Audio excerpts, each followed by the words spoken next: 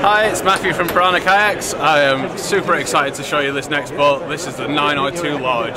Uh, we've progressed the 9R design and made it way smoother, way faster, and just a nice boat to really enjoy the river with and made the most of that kind of uh, fast creek boat design. This one is 9 foot 5. It's a long buoy. It's just so much fun. We've totally ignored that nine foot kind of limit that people have been working to and just made it the right proportions so people who are taller and broader like myself can really enjoy this design.